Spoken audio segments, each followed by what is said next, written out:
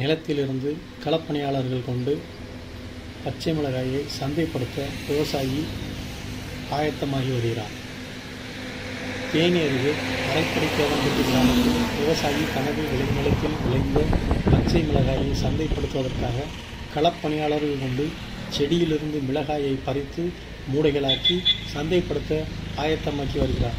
தற்போது பச்சை மிளகாயானது உழவர் சந்தையில் கூட ஒரு கிலோ நாற்பது முதல் நாற்பத்தி ஐந்து வரை விலை போவதால் நல்ல விலை கிடைக்கும் என்ற காரணத்தினால் மிகுந்த மகிழ்ச்சியோடு இருப்பதாகவும் தெரிவித்தார்.